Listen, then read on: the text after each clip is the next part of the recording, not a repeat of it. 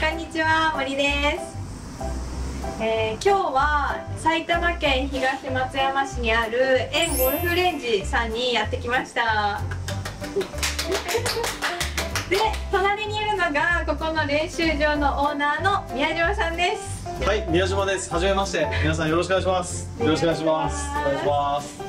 でここは最近リニューアルオープンしたばっかりだそうですが、はい、えっ、とオープンしたのは8月4日です。4日？はい、かなりリニューアルオープン長期で。しました。綺麗にさせてもらいました。で、ちょっとこだわりがあのこの練習場ありまして、あの皆さんが触れる場所はかなり綺麗にさせていただいて、例えば座る椅子はいだったり、はい。はい。はい。はい、テーブルだったり、はい。あとはあのちょっと女性もたくさん来ていただきたいんで、トイレとかはめちゃくちゃ綺麗にさせてもらいました。さっき見たんです見ました？あのはいトイレとフィッティングルームというかお綺麗が出てる部屋とか。そうですね。その辺はすごい力を入れました。すはいごかったですね、はい。フィッティングルームもなかなかなメイク落としとかもはいあったんでなんかさすがすごい気女性の方にたくさん来ていただけるなって。あとは小さいお子さんにも来ていただけるようなちょっとね休憩スペースのこだわりだったりとか楽しんでいただけるようにやってます。宮島さんもこちらでレッスンされるんですか？私もあの PGA のライセンスを持ってまして週に3回ぐらいはクラスのレッスンさせていただければ。おゴルフの悩みがある方はぜひいらっしゃってください。はい。それではちょっとレッスンの方に行きたいと思います。よろしくお願いします。よろしくお願いします。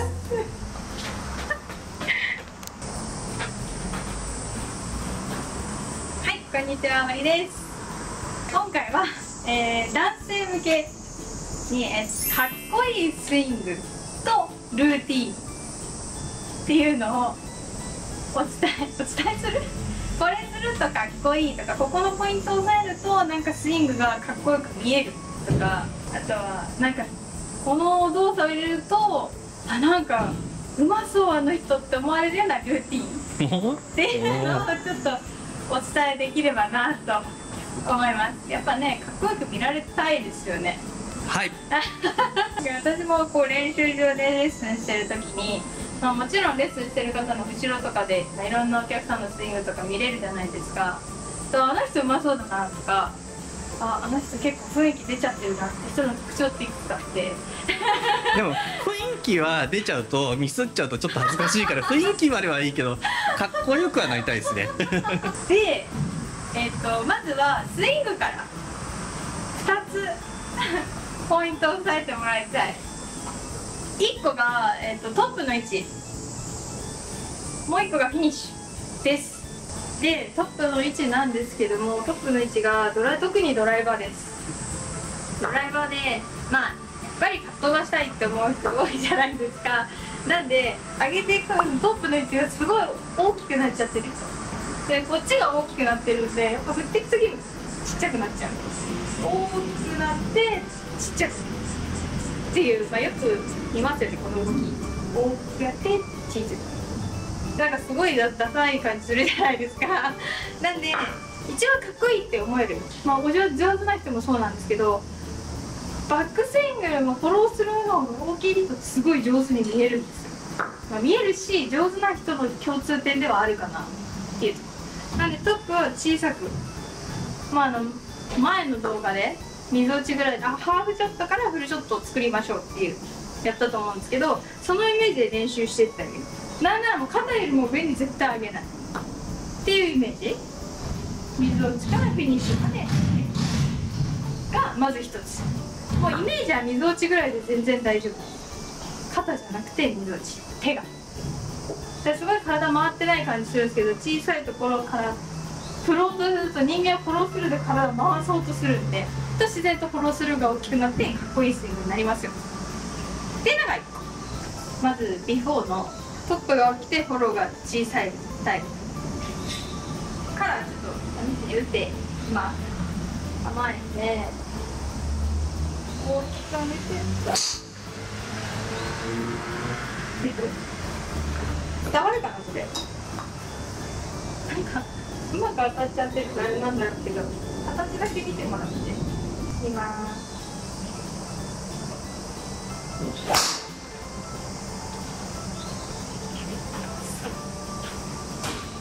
まあこの通りあんまトップ大きすぎると右足に体重残っちゃうんでで次トップが小さくてフォローが大きいパターン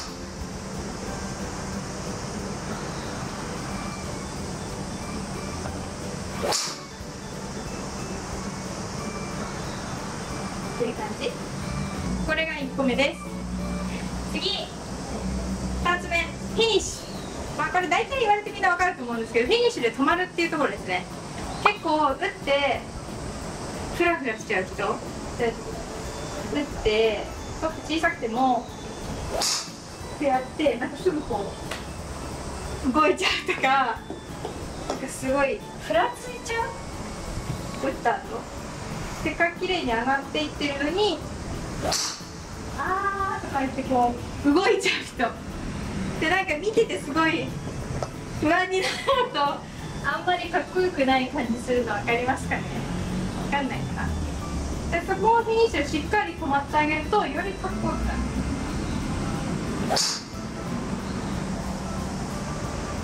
止まる。ピシッて。なんかマキロイみたいな。感じ？これビフォーアフターで見ててもらいたいって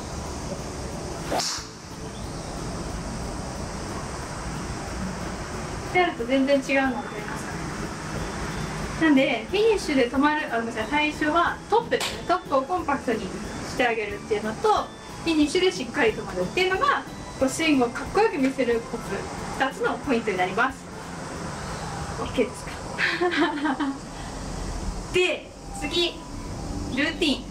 ルーティンはまず1個はボールとティーを別々にセットしないっていうとこです。まあどういうことかっていうとよく私たちのプロとか上手い人とかってこうボールとティー一緒に持ってこうセットするじゃない。こうやって。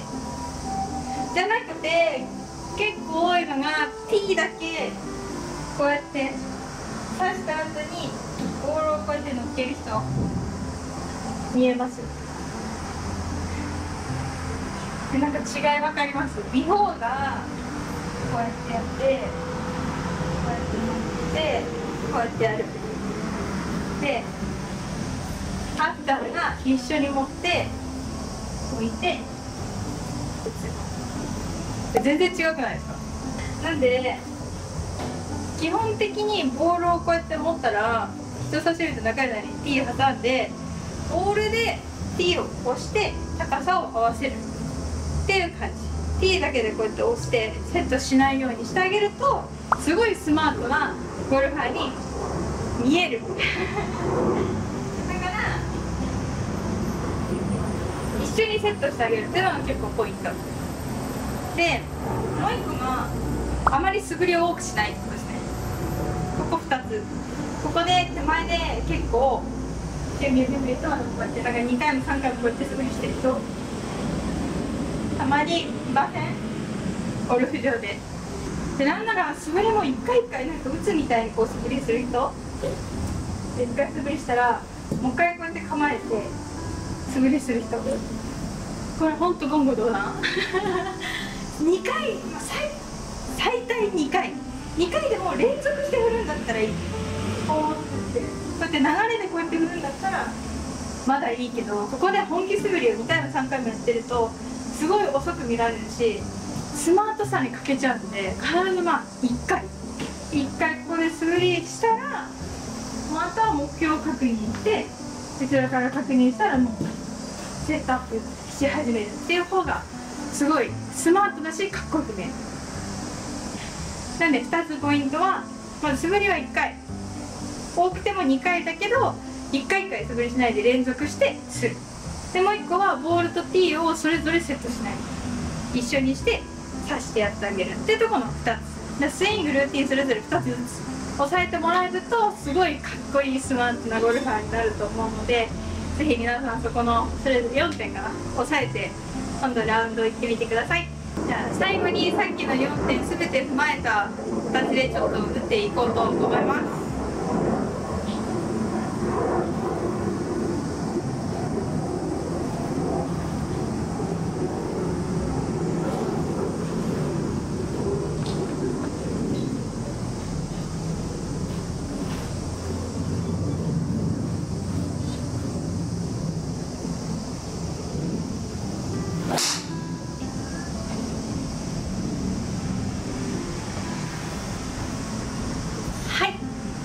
感じで撮ってもらえるとすごいスマートに見えたと思うんでそれをぜひ男性の皆さん試してみてください、えー今回は以上になります。皆さんご視聴ありがとうございました。